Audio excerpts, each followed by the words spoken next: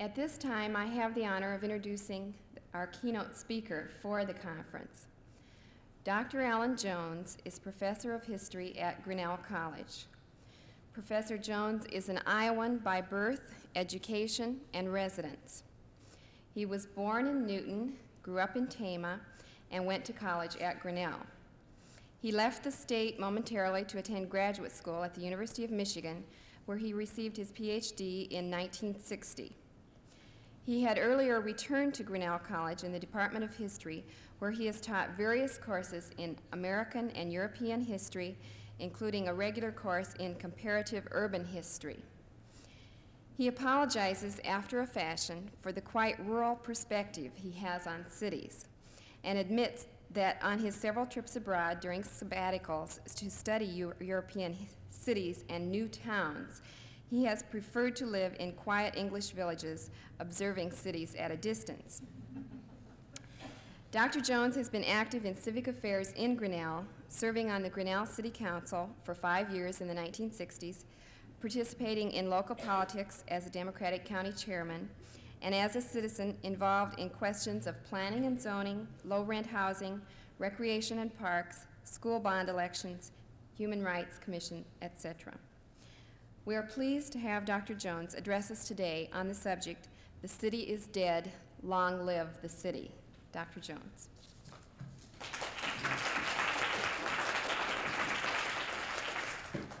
I'm very pleased to be here, and uh, I apologize a bit for my rural perspective, and I, I guess uh, looking at future problems uh,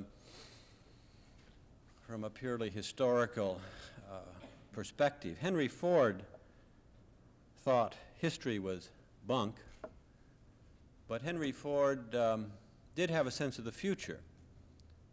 Uh, in 1920, uh, surveying the future of his automobile, uh, he made the remark that, I can tell you one thing, the cities are finished. Um, he not only prophesied, he, in part contributed to that problem.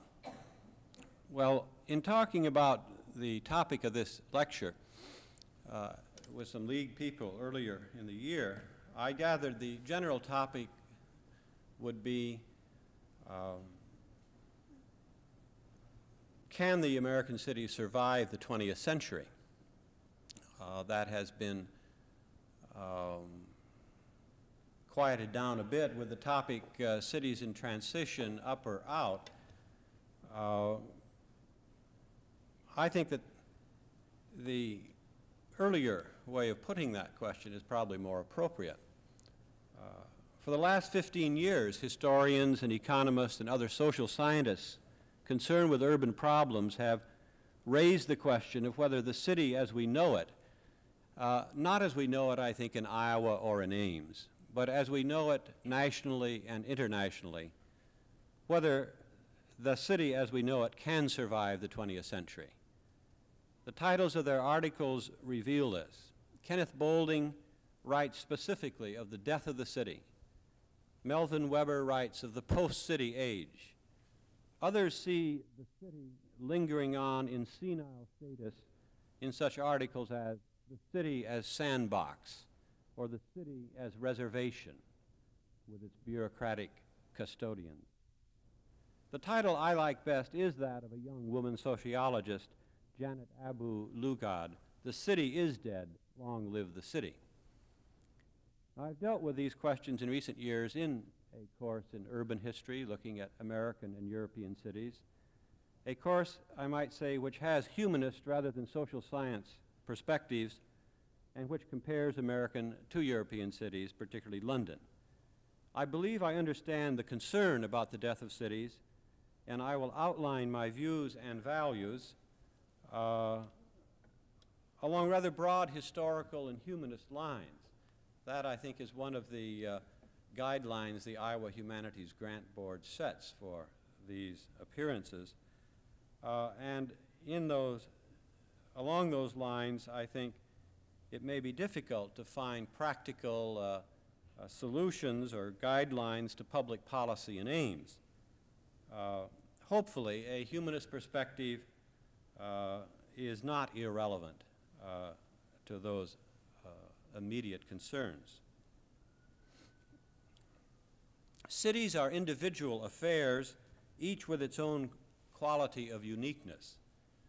They are also very much alike with similar patterns and similar problems.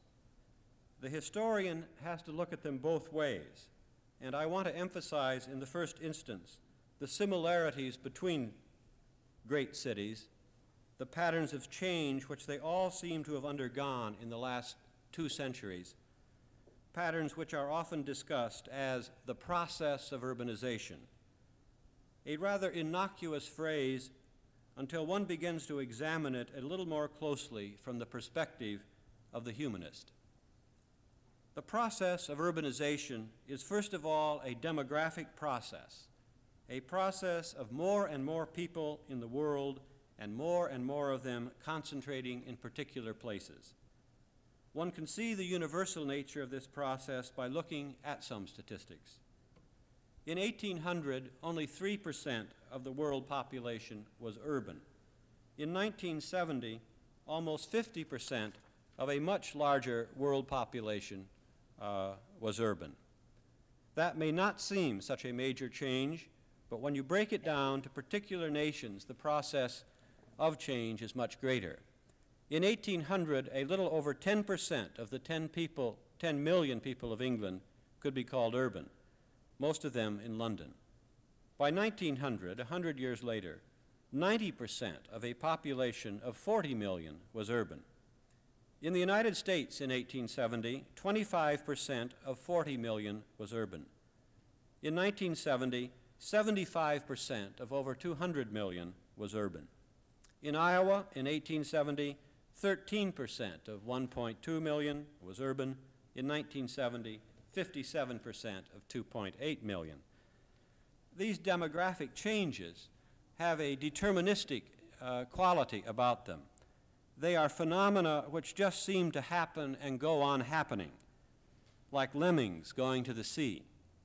They appear to be the result of social and historical forces too powerful for man to control. At least that is my first impression when I read of the projected population of Mexico City in the year 2000 at 32 million, or when I read low and high estimates of Calcutta in 2000 at 35 or 55 million.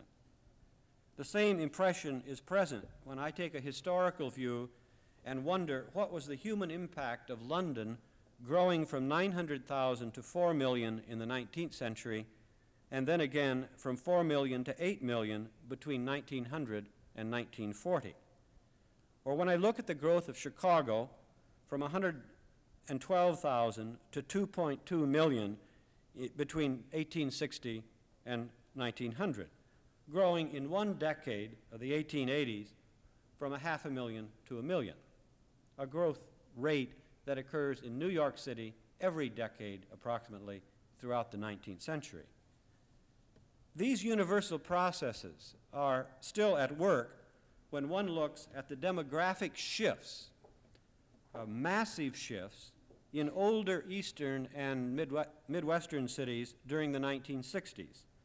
Cities which uniformly lost population, mostly white. St. Louis losing 20% of its population in those 10 years. During the same period, Texas and California cities uniformly across the board increased their population by over 40% growth rates. Examining the statistics of these population movements of the, of the 60s uh, more carefully, one notices other things. St. Louis lost 20% of its population, a net loss of 150,000, really a loss of 250,000 because of black population increase in St. Louis. But the St. Louis Standard Metropolitan Statistical Area grew 11% from 2.1 to 2.3 million. The city of Chicago in the same decade lost uh, net 225,000 people, or 6% of its population. Really, it lost 400,000 white people while gaining uh, about 200,000 non-whites. And the Chicago Standard Metropolitan Statistical Area increased 700,000 from 6.2 to 6.9 million. I don't want to bore you with these statistics, but I do want to repeat them to, to, to have you get the sense of, of their, their kind of uniform, uh, the uniform patterns of, of great demographic shifts occurring in American cities. The pattern I've talked about is evident in Detroit, Cleveland, Philadelphia, Boston, Baltimore, New York City, and most other eastern and midwestern cities, including Des Moines to a much lesser degree. The standard metropolitan statistical areas seemed to be alive and well in the 1960s, uh, even though the cities were dying. These movements have continued in the 1970s uh, in older northeastern and midwestern cities in this country. Uh, Chicago is said to be losing about 60,000 people a year in the 1970s. The most recent reports indicate that even the standard metropolitan statistical areas are beginning to lose population in the Midwest and the Northeast as a massive population shift uh, moves to uh, the Sun Belt states from San Clemente to um, Key Biscayne. The process of urbanization in its demographic aspects then poses central problems for a historian who believes that men make cities and that men make history, not unseen forces understood only as statistics. The process similarly uh, poses problems for the humanist who believes that the city is a human artifact, something created and built by men. And there are other patterns at forces at work in the process of urbanization which similarly seem to diminish man's possibility of creation and control. Closely connected to the process of urbanization, for instance, and acquiring momentum in the same way in the same years since 1800, is the process of industrialization. The connection between urbanization and industrialization is so close, or was so close in the 19th century, that many urban sociologists and historians simply divide the history of cities into three categories pre-industrial, industrial, and post-industrial. The crucial variable in the process of uh, industrialization and its effect on urbanization is the variable of technology. And some would account for the great demographic shifts of the last two centuries by simple reference to technological causes. Above all, changes in transportation, communication, and production technology. Certainly the great 19th century cities Manchester, Birmingham, Chicago, Philadelphia, Cleveland, and later Detroit, were industrial cities, cities of the age of steam whose factories produced goods with an infinitely specializing division of labor and which relied on railroads or steamships to bring raw workers or raw materials to them and which relied on railroads or steamships to send the finished goods out again to the corners of the world. 20th century technological change in transportation, communication, and production, the changes of an electric and post-industrial age, which substitutes electricity for steam, the internal combustion engine of cars and trucks for locomotives, the telephone, television, and computers for typewriters and telegraphs, these technological changes help account for such demographic shifts in U.S. cities as have been occurring in the last few decades. When the federal government alone, since 1945, spends $350 billion for highway development, the effect is evident in and around cities and helps explain the emergence of that confused, decentralized, post-industrial urban sprawl we call a standard metropolitan statistical area. The transportation technology of highways and motor cars and trucks, let alone airplanes, and I might say the great growth around Chicago centers in the northwest O'Hare uh, region, uh, the transportation technology of highways and motor cars and trucks now determine, uh, determine where people live and where businesses are located, where new plants are built, where shopping centers develop, where new communities are formed, and where old communities die. This is evident at a glance in American cities, particularly California cities, uh, but it is a universal pattern present in Iowa, where the state spent $1.2 billion between 1964 and 74 on highways and helped create our fastest growing communities, Urbandale, West Des Moines, Clive, and Bettendorf. well, for the purpose of these remarks, I want to emphasize how technology like demography uh, uh, raise problems uh, for the historian and the humanist uh, when he looks at cities. Uh, technology, too, seems to be a force out of control, difficult to get leverage on, creating and destroying cities. The process of urbanization has then, with these two variables, a deterministic quality about it, and when one adds other variables which condition the life and death of cities, uh, one feels the great diminishing of uh, the possibility of maintaining cities or great cities as we know them. There are, for instance, interrelated class, ethnic, spatial, and environmental patterns that have the quality of universal of a universal process in the history of cities, and I will touch briefly on them. As London grew in the 18th and 19th century, a clear spatial pattern emerged the West End and the East End. Wealth, education, culture, power, and civility in the East End, in the West End. Poverty, illiteracy, powerlessness, and violence in the East End. And neighborhoods differentiated themselves along these lines in American cities uh, in the 19th and 20th centuries, even more so because of the quite uniquely American experience of immigrants and blacks. This process continues to the present.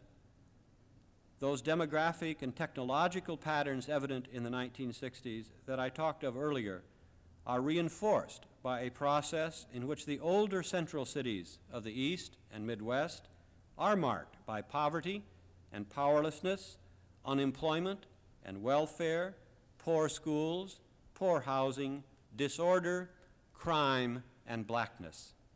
And the new suburbs of the standard metropolitan statistical areas are marked by wealth and power and good schools and good health and good housing and relative order and whiteness.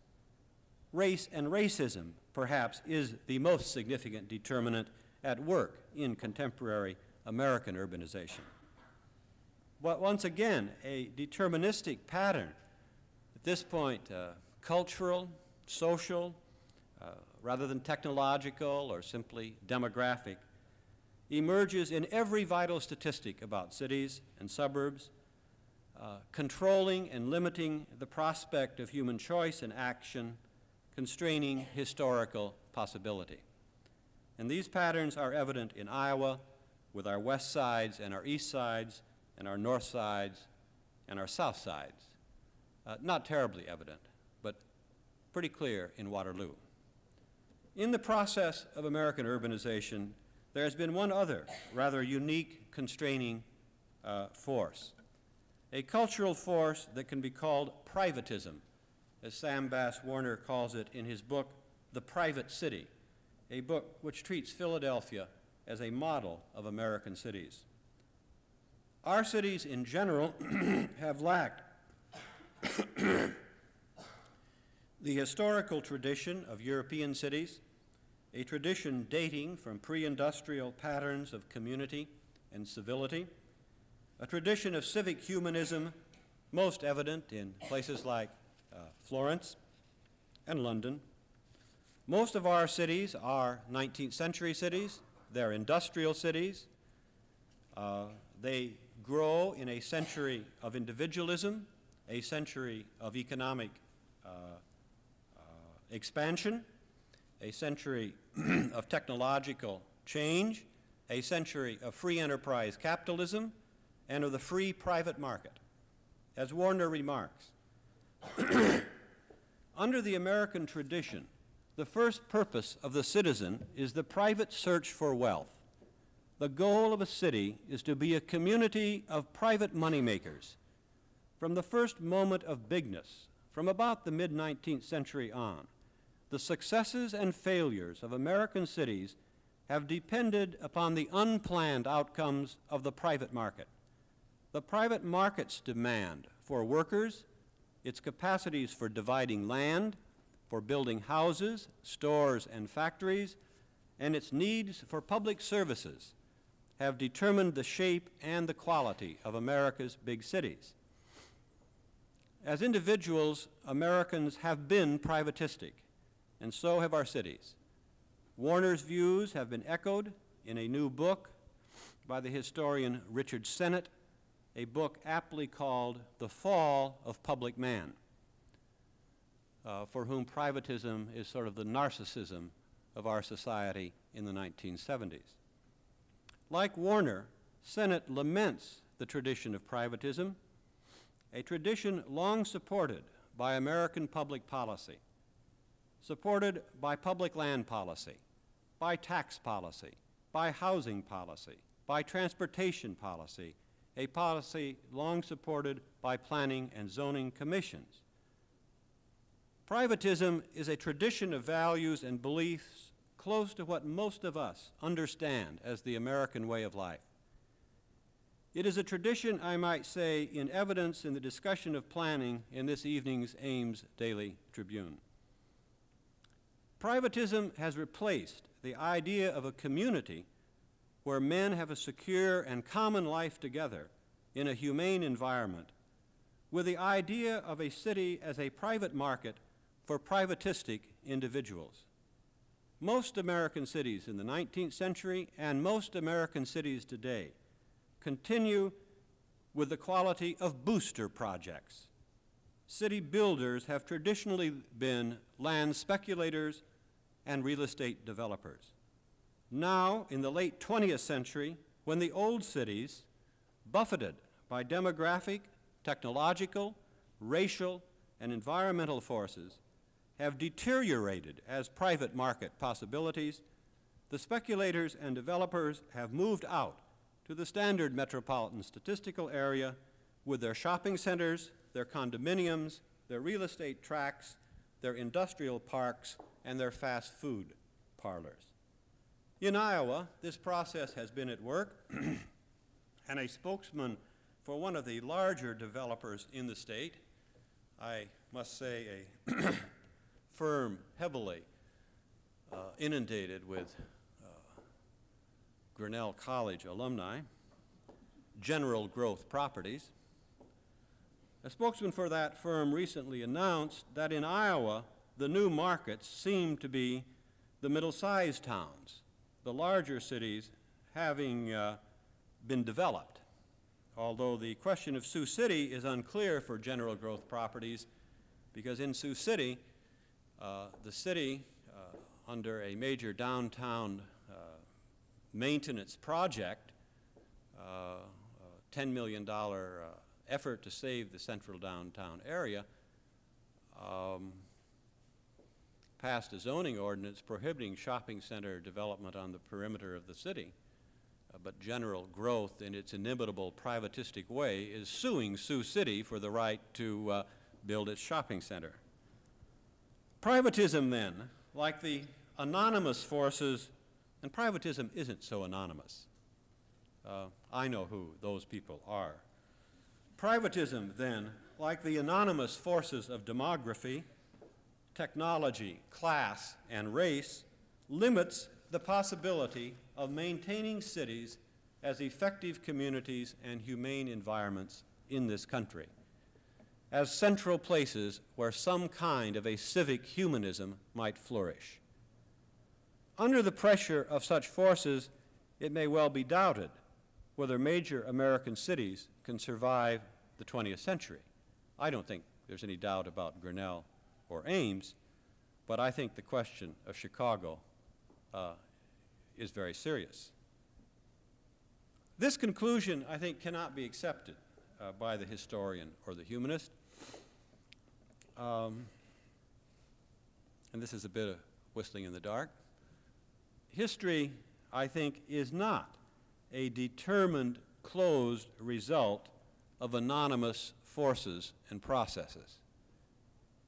It is an open prospect in which humans make conscious choices and have the potential for individual action. Anybody who is a humanist has to believe that. We are still rural and pre industrial. We have only 27 communities over 10,000 people in this state, only two over 100,000. Highways and motor cars and trucks and shopping center developers are all around us, just as there are those who would keep our east ends powerless, poorly educated and unemployed. But the prospect in Iowa is good, I would think, for cities as effective communities. It remains a matter of choice.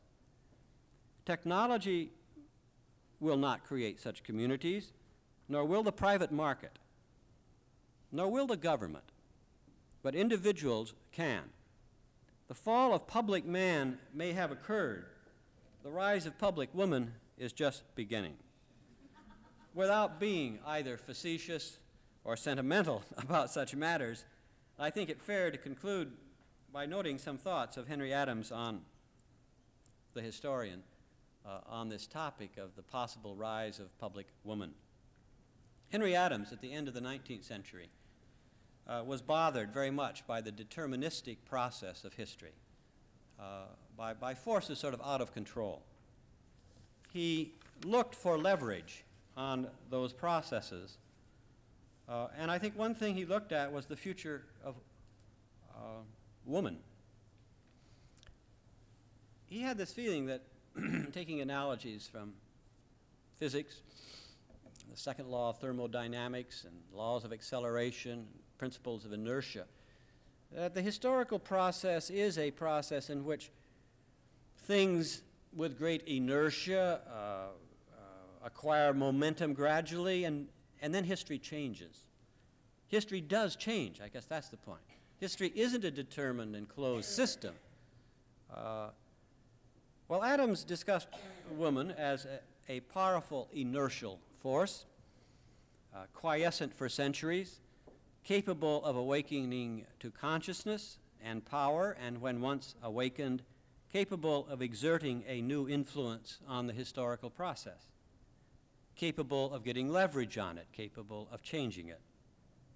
Now, I'm not at all sure that is happening, but it does illustrate the point I want to make that history is an open, not a closed system, that it is not a necessary and determined process, that change occurs, and that one of these changes occurring in our own time and whose results we cannot yet imagine is a change in the consciousness of women. And what is true of women can be true of men, just as what is true of the process of history is true about the process of urbanization. It too is an open and undetermined affair where the consciousness of men and women may have its effect. Up till now, after all, cities have been made by privatistic men, not public women. Perhaps our cities, in their present form, need to die, or be reborn, or be succeeded by something better. Public women might produce a new and better generation of cities. Public women and $2 a gas, $2 a gallon gasoline. Thus, the appropriateness of Janet Abu Lughod's cry, the city is dead, long live the city.